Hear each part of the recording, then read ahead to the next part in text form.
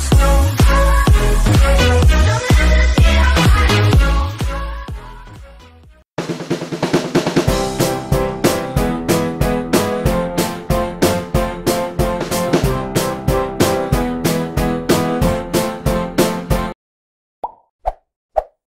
Jokowi ingin belusukan di masa pandemi. Politikus PAN kalau diperiksa langsung presiden bakal beres memasuki kenormalan baru new normal. Presiden Jokowi Dodo Jokowi berencana melakukan kunjungan kerja kembali alias belusukan ke berbagai daerah.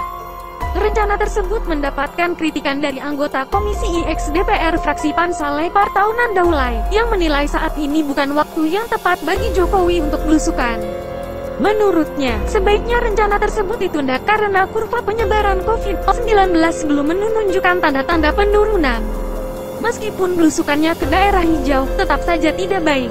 Karena rombongan presiden yang berkunjung pasti dihadiri banyak orang, ujar Saleh kepada wartawan. Jakarta, Jumat tanggal 19 Juni tahun 2020. Itu artinya, akan melanggar social and physical distancing. Khawatirnya, masyarakat di tempat lain akan mencontoh dan dianggap bahwa presiden pun sudah bisa belusukan.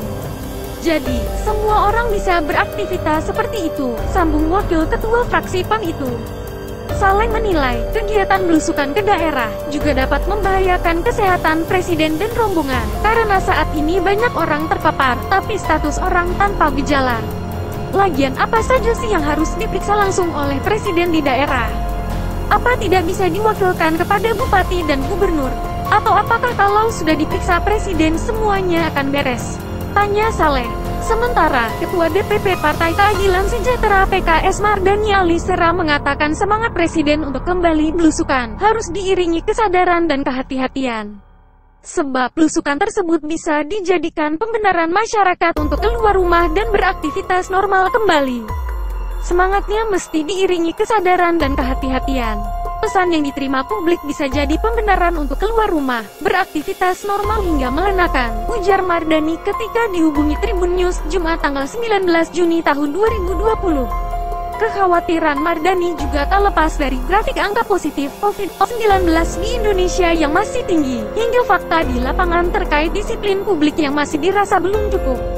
Presiden pasti dijaga semua tim support agar mampu terjaga dari COVID-19. Sementara masyarakat umum bisa bangkit semangatnya tapi tidak dapat menjaga diri untuk disiplin. Angka positif COVID-19 kita masih tinggi, dan fakta di lapangan disiplin publik serta fasilitas yang disediakan untuk publik masih jauh dari cukup. Angkutan publik saja masih susah menerapkan jaga jarak Hindu Mardani. Di sisi lain, rencana Presiden Jokowi untuk belusukan kembali diapresiasi legislator Partai Golkar Supriyansa. Menurut Supriyansa, rencana belusukan Jokowi itu sebagai bentuk kecintaan seorang presiden kepada rakyatnya. Itulah bentuk kecintaan Pak Jokowi terhadap rakyatnya yang susah dibendung. Karena memang kecintaan yang dimiliki berasal dari hati yang terdalam, kata Supriyansa saat dihubungi Tribun News Kamis tanggal 18 Juni tahun 2020. Anggota Komisi 3 DPR itu menilai Presiden Jokowi sudah rindu dengan kebiasaan belusukan yang dilakukan sebelum adanya pandemi COVID-19. Sebab gaya komunikasi tersebut menjadi magnet tersendiri bagi rakyat Indonesia. Supriyansa juga mengajak seluruh rakyat Indonesia untuk mendoakan Presiden Jokowi jika belusukan itu terwujud dalam waktu dekat. Jika beliau benar-benar akan belusukan, maka mari kita mendoakan Bapak Presiden sehat selalu dalam menjalankan tugas sebagai kepala negara, apalagi di tengah ancaman pandemi COVID-19 ini, ucapnya.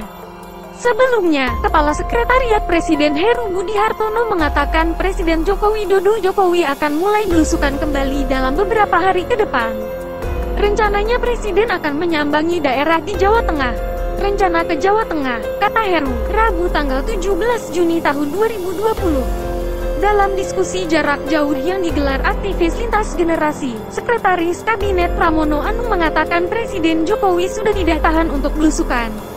Selama ini kegiatan belusukan Presiden terkendala pandemi COVID-19.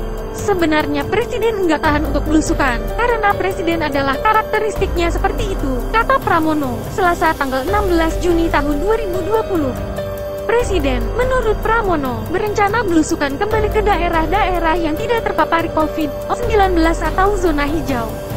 Terdapat kurang lebih 100 daerah yang masuk klasifikasi zona hijau. Setelah melihat perkembangan penyebaran COVID-19, yang ada hampir 100-an daerah yang hijau, Presiden tetap akan berkunjung ke beberapa daerah hijau, beber Pramono. Menurut politikus PDIP itu, Presiden akan menerapkan protokol kesehatan dengan ketat apabila belusukan nanti. Hal itu menjadi pesan Indonesia siap memasuki fase new normal, yakni masyarakat produktif dan aman dari COVID-19.